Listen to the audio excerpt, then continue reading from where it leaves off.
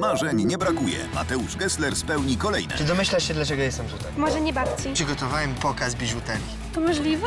Tak. Chciałabym, by wiedziała, że ją kocham. Boże, zupełnie nie wiem, co się tutaj dzieje. A na wielkiej scenie Fajne marzenie. Jak się bawicie? Super Tata zagra z zespołem Jen. Drzewo marzeń. W niedzielę o 18 w TVN.